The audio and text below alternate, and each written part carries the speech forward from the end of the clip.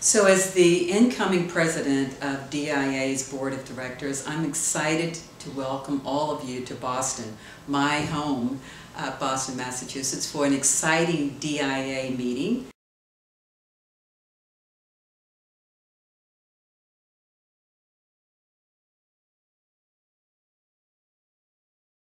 The DIA HBA Leadership Project is launching the first ever custom fit leadership skill building workshop at this year's DIA annual conference on Sunday, June 23rd, the day before the event begins. And I think that women in regulatory, legal, medical compliance will find this event to be truly beneficial for advancing your careers.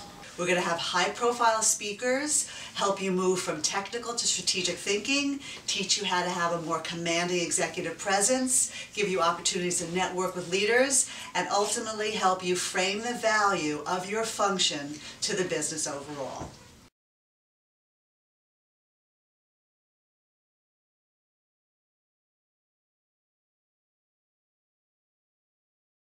As a regulatory professional, I can tell you that these are the skills that you will need in order to advance your career. And it's not always as a parent when you're in regulatory affairs or legal compliance or medical exactly what the tools are uh, for moving up the, the corporate ladder.